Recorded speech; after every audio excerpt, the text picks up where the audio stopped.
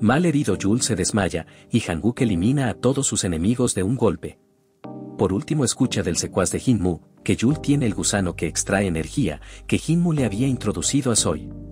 Por su lado Dagu le comenta que sucedió a Naxu, mientras tanto Hinmu descubre que pasó en la Villa Gema. Si no controlan la situación, puede comenzar una guerra, que ni la reina podrá detener. Para evitar que su amigo muera, Hanguk llega hasta el palacio a buscar a Hinmu, esto provoca que todos estén en alerta. Nuevamente, Hanguk demuestra tener un poder insuperable, tanto que está a punto de entrar al palacio, aunque el príncipe lo detiene, y le pide que no destruya todo lo que construyó. Él le remarca que el destino del mundo mágico depende de lo que elija. Como para tensionar aún más el momento, el maestro Park aparece junto a un puñado de soldados dispuestos a seguir los pasos de Hanguk. Afortunadamente, el príncipe le promete traer a Hinmu.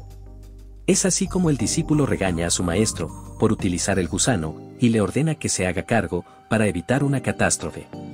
Aunque, le remarca que si encuentra una forma de salvar a Yul, todo se olvidará. Esto ocasiona que Hinmu hable con los demás magos, y luego con su hermana, a quien le suplica que lo ayude a salvar a Yul. Con muchas dudas, la maestro Jin accede, ya que puede salir perjudicada si no lo hace. Más tarde, los Jin se presentan delante de Hanguk, y Jinmu le pide disculpas aunque el muchacho no las acepta, pero sí acepta que su suegra acceda a ayudar a su amigo. Una vez más, gana Hanguk, ya que su plan nunca fue combatir, sino obtener la ayuda de la maestro Jin, que antes se había negado a ayudar a Yul. Por cierto, el rey temía de que Hanguk entre al palacio. El muchacho se va sin antes asustar a Jinmu, mencionando el futuro del mundo mágico. Por su lado Naxo está junto a Yul, y tratando de ver la energía del muchacho, obtiene nuevos recuerdos. Aunque no continúa allí porque la nieta del maestro la echa de lugar. Cuando Naxo estaba yéndose, revisa las cosas que la sirvienta estaba trayendo, y casualmente se encuentra con una carta sellada por Yul. Más adelante sabremos qué decía. Más tarde, mientras Naxu se entera que hay una oportunidad de salvar a su amigo, Hanguk promete devolver a su esposa al Jinjobon. Solo tienen una oportunidad en la que todos serán partícipes, es riesgoso pero no hay otra forma. Antes de comenzar con el rito, Hanguk discute con su esposa que decide ir al lugar a ayudar. El plan consiste en retirar el flujo de corriente mágica de Yul junto al gusano y pasársela a Choyeon. Debe ser ella para engañar a este gusano. Con la energía junto a ella, deben dirigirse al Jinjobon, y allí con el dragón expulsar al gusano de la energía de Yul. Por cierto el dragón debe estar rodeado de oro usan el mismo que el reino le obsequia a Hanguk. Además el príncipe ayudará en el proceso. Antes de comenzar, Naxu releva a Choyeon, ya que posiblemente esté embarazada. El proceso comienza, y Yul se queda sin energía. Rápidamente el matrimonio se transporta al Jinjobon, donde la maestro Jin regaña a su yerno, y luego Naxu descubre quién es el eunuco que encontró en la Villa Gema.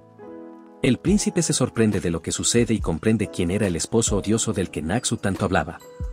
Por unos segundos vemos a Hinmu junto a la tortuga, a la cual la trata de débil. El matrimonio le explica al príncipe qué deben hacer, y entre dichos sobre el matrimonio de Hanguk y Naxu, la operación continúa. Por lo mismo Hanguk activa el poder del dragón y el príncipe ayuda a contenerlo. Efectivamente, el gusano comienza a moverse y el príncipe corta la piel de Naxu para retirarlo. Sin dudarlo frena el sangrado y tapa la herida. El buen trato del príncipe y Naxu, pone celoso a Hanguk, pero la operación no termina así que regresan, y el maestro Eo le ordena a Naxu que le pase la energía a Yul.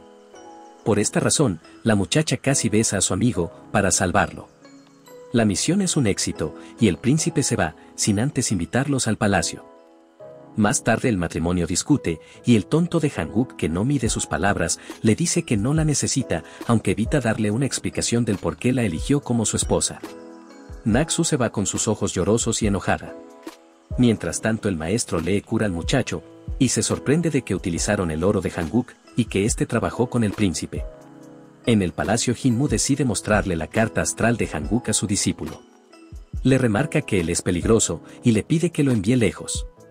Al otro día Hanguk duda de la decisión que tomó, luego de que su madre postiza lo regañe. El muchacho recuerda todo lo vivido junto a su esposa, y por culpa de la lámpara que parpadea no puede estar tranquilo. Más tarde, Yul tiene una pesadilla que lo despierta. Él descubre todo lo que pasó y se entristece por la muerte de Soy. Luego conversa con su amiga y el maestro Lee, quien lo ayudó, como lo hizo con Naxu. Al rato el muchacho habla de su amiga con el maestro. Curiosamente el maestro lee, dice que Naxu morirá, o bueno su alma, ya que Boyeon está dormida, y cuando ella despierte, el alma de Naxu dejará de existir. Por otro lado, la nieta del maestro lee lo que decía la carta, y descubre que Naxu está viva. Más tarde, la muchacha tiene una grata sorpresa, ya que encuentra a su esposo, quien la estaba buscando, y luego de dar muchas vueltas, le confiesa que sufre sin ella a su lado. Esto desencadena que se den un gran beso sanador. Y esto fue lo que pasó en el capítulo 7 de Alquimia de Almas parte 2. No olviden suscribirse, dejar un me gusta, visitar mis otros canales, y nos vemos en un próximo video. Y esto fue lo que pasó en el capítulo 1 y 2 de Island. No olviden suscribirse, dejar un me gusta, visitar mis otros canales, y nos vemos en un próximo video.